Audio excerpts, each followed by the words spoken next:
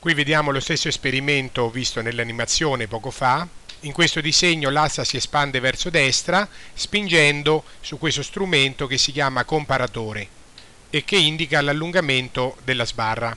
Questa è la formula che abbiamo appena visto, cioè questa, l'aumento di lunghezza è uguale alla lunghezza 0 gradi centigradi per lambda per l'aumento di temperatura in gradi centigradi.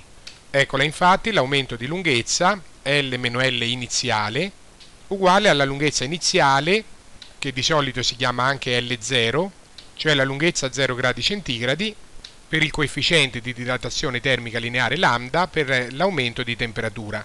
Naturalmente questa formula vale anche per diminuzioni di temperatura, in, in, in questo caso delta T è un valore negativo perché la temperatura diminuisce e anche la variazione di lunghezza è negativa perché l'asta si ritira anziché allungarsi.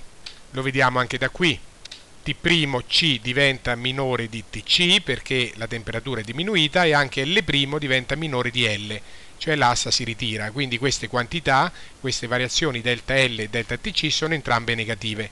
Comunque di solito l'esperimento si fa in riscaldamento e quindi sono quantità positive.